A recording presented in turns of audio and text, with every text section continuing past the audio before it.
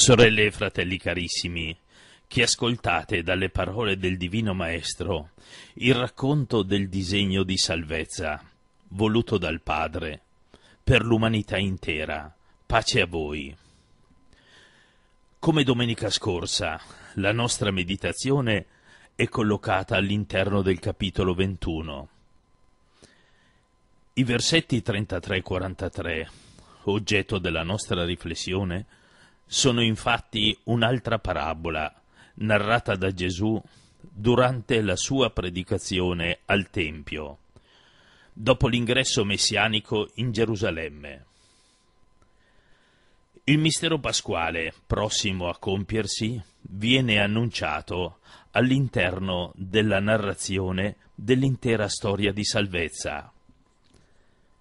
Davanti a Gesù vi sono sempre i capi dei sacerdoti e gli anziani del popolo, uditori incapaci di comprendere la verità dell'annuncio messianico. Gesù usa ancora una volta l'immagine consueta della vigna per narrare l'economia di salvezza voluta dal Padre. È Yahweh, il Dio di Israele, il padrone della terra che pianta una vigna. La vigna è il popolo dell'antica alleanza, curato e amato, come la vigna del padrone. La vigna è affidata a dei contadini, dopodiché il padrone se ne andò lontano. Versetto 33. Il riferimento è chiaro. Quei contadini sono gli stessi capi dei sacerdoti e gli anziani del popolo.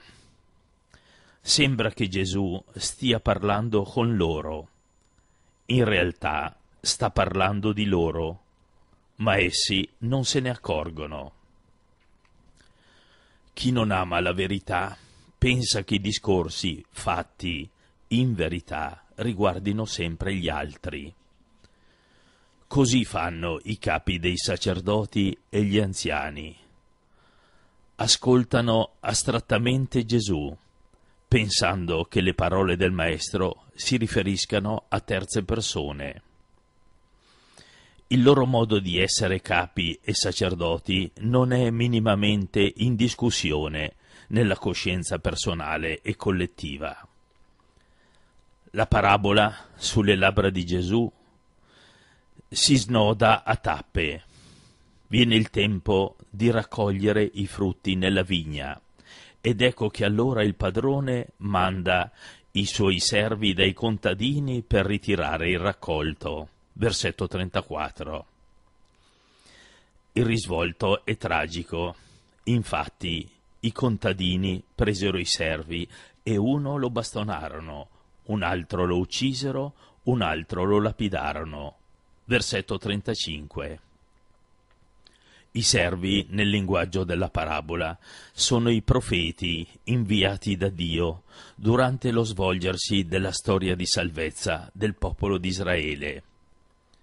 Ma i contadini, che rappresentano i capi del popolo e i sacerdoti, rifiutano gli inviati di Dio, arrivando perfino ad annientarli, uccidendoli. L'amore per la vigna da parte del padrone si manifesta con un nuovo invio di servi, più numerosi dei primi, dice il testo evangelico. Dio, nonostante il rifiuto del suo popolo, non ha mai smesso di inviare a Israele i suoi profeti, anzi ne ha aumentato il numero durante il percorso storico. Il risultato però è a dir poco deludente li trattarono allo stesso modo. Versetto 36. Il proprietario della vigna allora fa il salto di qualità. Fino ad ora ha mandato dei servi. Adesso invia il figlio, suo figlio, dicendo a se stesso, avranno rispetto per mio figlio. Versetto 37. Ma non sarà così. L'azione è ben pianificata. Costui è l'erede, su, uccidiamolo, e avremo noi la sua eredità. Versetto 38. L'azione è immediata e conseguente. Lo presero, lo cacciarono fuori dalla vigna e lo uccisero. Versetto 39. Gesù sta parlando di sé, del suo destino pasquale, prossimo a compiersi. Verrà infatti da lì a poco crocifisso fuori dalle mura di Gerusalemme. È il figlio inviato, rifiutato, annientato. Il discorso di Gesù arriva al dunque con l'interrogativo rivolto ai capi. Quando verrà dunque il padrone della vigna, che cosa farà a quei contadini? Versetto 40. La domanda è un interrogativo autenticante, uno di quelli che Gesù compie ogni tanto alla coscienza dei suoi interlocutori perché arrivino alla verità. La risposta, però, così slanciata e spontanea, si rivela in realtà un'autocondanna. Infatti gli risposero Quei malvagi li farà morire miseramente e darà la sua vigna ad altri contadini che gli consegneranno frutti a suo tempo. Versetto 41. I capi dei sacerdoti e gli anziani, chiamati ad essere i servitori del cammino di salvezza del popolo di Israele, nel nome del sacro sono diventati presuntuosamente i padroni della salvezza. Non camminano né fanno camminare gli altri per la via di Dio, incapaci come sono di cogliere l'azione salvifica di Yahweh che si svolge davanti ai loro occhi. Per questo Gesù, proprio come farebbe un profeta, indica la via di Dio riferendo il suo operato alle sacre scritture che si stanno compiendo in lui. Non avete mai letto nelle scritture la pietra che i costruttori hanno scartato è diventata la pietra d'angolo. Questo è stato fatto dal Signore ed è una meraviglia ai nostri occhi. Versetto 42. Sappiamo che le parole di Gesù si riferiscono esplicitamente al Salmo 118, i versetti 22 e 23 e sottintendono quelle del profeta Isaia, al capitolo 28, versetto 16. Sono parole antiche che trovano nell'azione del Messia il loro compimento. Gesù è la pietra angolare, scartata dai costruttori. È stata giudicata non idonea, rifiutata nel suo apparire, diviene in realtà pietra fondante le parole del Signore diventano ancor più chiare se si pensa alle tecniche costruttive del tempo.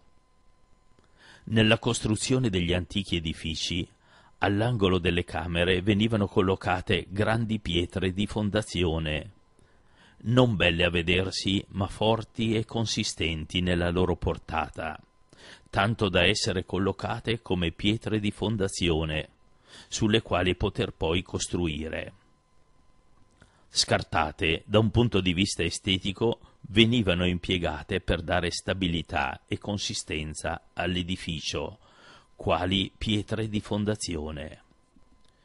Gesù dunque è la pietra giudicata inidonea, perciò scartata dai costruttori. I capi dei sommi sacerdoti e gli anziani lo rifiutano come Messia. Ma l'opera di Dio è un'altra rifiutato dagli uomini, viene scelto da Dio come fondamento di un nuovo edificio, di una nuova alleanza, di un nuovo popolo. È questa l'opera meravigliosa di Dio che sta davanti ai nostri occhi. Il versetto 43, conclusivo del brano odierno della liturgia, è una sorta di sentenza storica risultato finale del rifiuto di Gesù. Il Messia parla con autorevolezza ai capi. Per questo usa l'espressione perciò io vi dico. Questa autorevolezza sfocerà nella condanna finale. A voi sarà tolto il regno di Dio. Credete di possederlo? Ne disponete rifiutando lo svolgersi del disegno divino? Allora Dio stesso vi toglierà il suo regno e lo darà a un popolo che ne produca frutti. Come non leggere nelle parole di Gesù, fratelli e sorelle carissimi, il riferimento al popolo della nuova alleanza. Un popolo che si affida totalmente a Dio nella persona di Gesù, nella sua opera.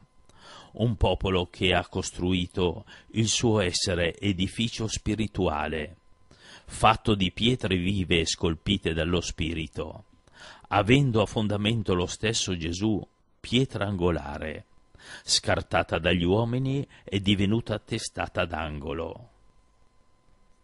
Guardiamo, carissimi, a questa meraviglia compiuta da Dio, riconoscenti per aver creduto, partecipi del mistero di Dio che si svolge sotto il nostro sguardo di fede, innalziamo il perenne inno di lode al Padre, datore di ogni bene.